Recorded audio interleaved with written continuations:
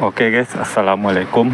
Semoga kalian sehat semuanya di mana pun kalian berada. Dan siang ini kita lagi di Tugu Raja Haji Fisabilillah. Tetapi patungnya udah nggak ada ya. Udah dari dulu nggak tahu sih Apa sejarahnya kok dihilangin. Nah itu api biru atau blue fire. Dan di sini ada dua bangunan baru di kota Tanjung Pinang. Nih gedung LAM, LAM Provinsi ya dan ada lagi satu gedung baru lagi itu Dekra Nasda Provinsi Kepri.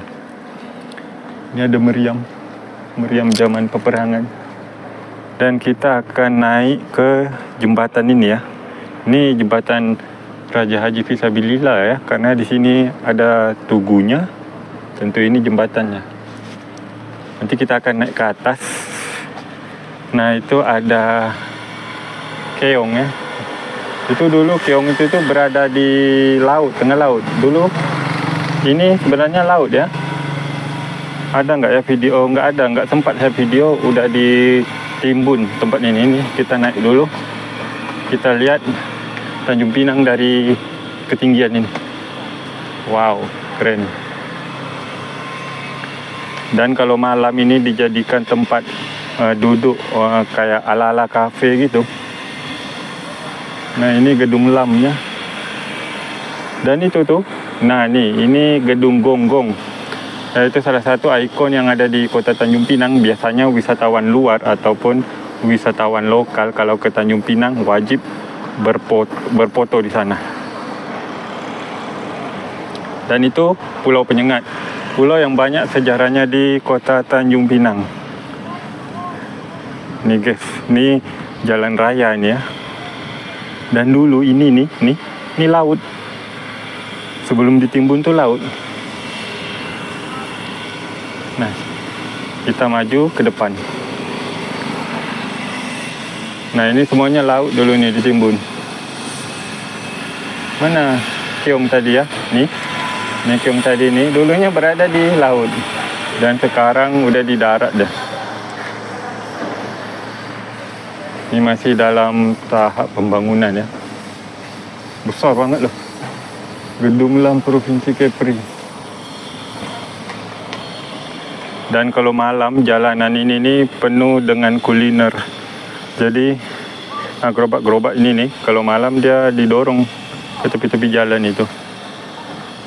Kalau kalian nggak percaya datang aja lah sore hari. Nah tuh udah ada tuh satu satu apa namanya satu gerobak Oke, kita lanjut ke depan lagi. Nah, ini ada kursi ini guys. Dan, dan kursi inilah yang disusun di sepanjang jembatan. Tuh. Nah, dulu so, kalau kita udah di sini, kita lihat laut itu di bawah. Sekarang nggak ada lagi, udah ditimbun semuanya. Tuh.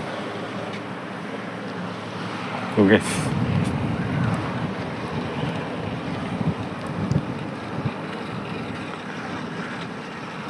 Ada jembatan Gurindam 12.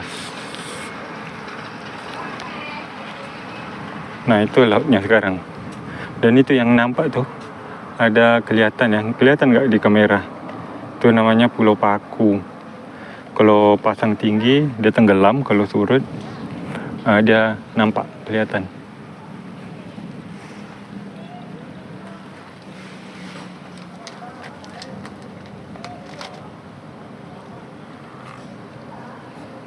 Nah, gimana wajah kota Tanjung Pinang di tahun 2023 bulan Oktober nih?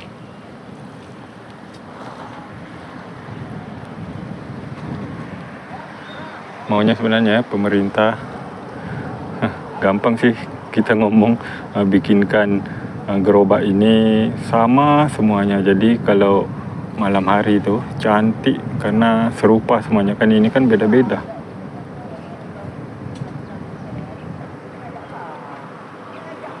Oke lah guys ya, video kita sampai di sini dulu. Sampai jumpa di video berikutnya. Terima kasih. Assalamualaikum.